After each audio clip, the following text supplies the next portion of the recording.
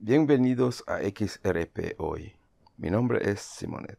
La información de hoy cubre lo siguiente. Polygon obtiene un nuevo socio. Cardano alcanza un hito. Bitcoin se arma en caso de una demanda. Ethereum Max es demandado. La tasa de interés en los Estados Unidos es inquietante. La incertidumbre en el mercado criptográfico y la actualización de la demanda entre Ripple versus la SEC la Associated Press anunció que el 31 de enero lanzará un mercado de tokens no fungibles, construido por un proveedor de cadena llamado Zua. Los coleccionistas de NFTs podrán comprar piezas del fotoperiodismo contemporáneo e histórico de la agencia de noticias. La Associated Press planea acuñar sus colecciones de fotos en la cadena de bloques de Polygon una solución de capa 2 para Ethereum diseñada para mejorar la velocidad de procesamiento de transacciones y reducir su costo. Durante 175 años, los periodistas de la Associated Press han capturado los acontecimientos más importantes del mundo a través de imágenes conmovedoras que siguen resonando en la actualidad. Los metadatos de cada imagen incluirán información sobre la hora, la fecha, la ubicación, el equipo utilizado y la configuración técnica de cada NFT. Esto es muy bueno para Polygon.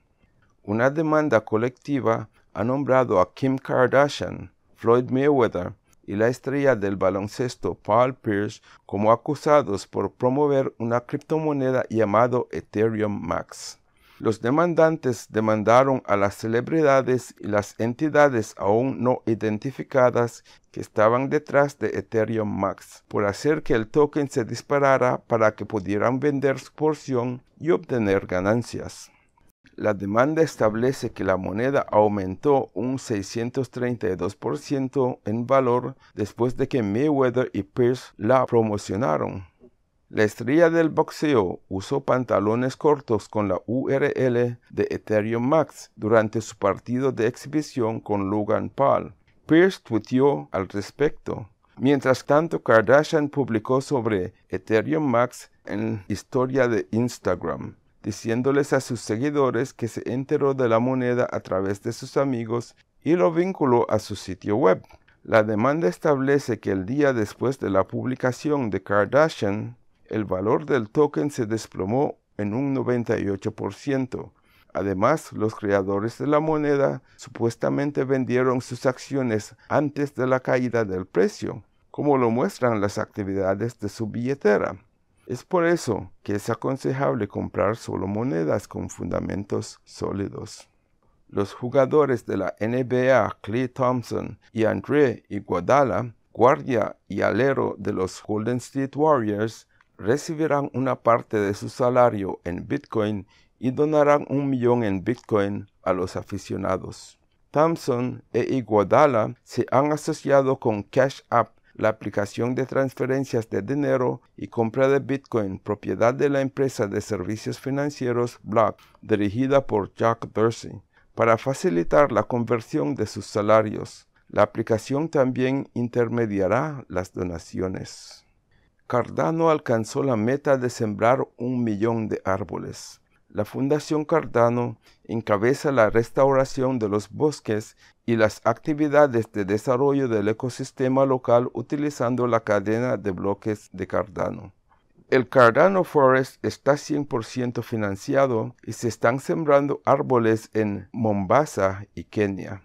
La fundación se ha asociado con Veritree para el esfuerzo de siembra Tree utiliza la tecnología de cadena para registrar el suministro de plantaciones de árboles para sus usuarios, lo que permite un seguimiento verificable de dichas actividades.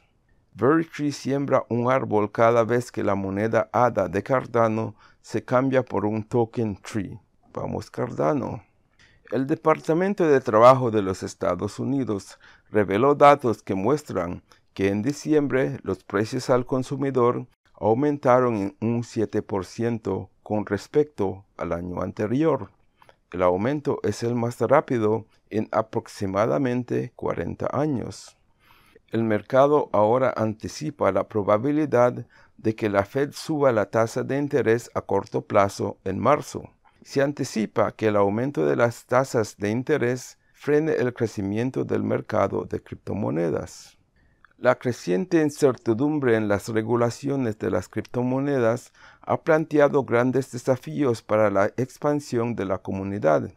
Esto incluye litigios y demandas. Los reguladores federales de los Estados Unidos están persiguiendo empresas emergentes de criptomonedas en tribunales y logrando un número creciente de acuerdos legales por violaciones de las reglas.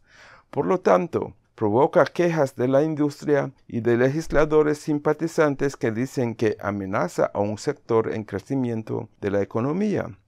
Durante el último mes, la Comisión de Bolsa y Valores, la Comisión de Comercio de Futuros de Productos Básicos y el Departamento de Tesoro anunciaron más de 120 millones en multas destinadas a los intercambios de monedas digitales. Otros proveedores de servicios también han sido acusados por funcionarios por no cumplir con las regulaciones de los mercados federales y los requisitos contra el lavado de dinero. Jack Dorsey, Alex Mercos y Martin White están en las noticias hoy después de que publicaron un correo electrónico a los desarrolladores de Bitcoin sobre el establecimiento de un fondo de defensa legal de Bitcoin.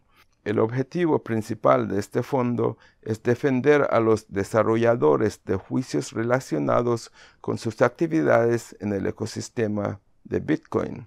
Esto incluye encontrar y contratar a un abogado defensor, desarrollar estrategias de litigio y pagar las facturas legales. Los litigios y las amenazas de las autoridades también están teniendo el efecto deseado y algunos acusados individuales eligen capitular ante la falta del apoyo legal.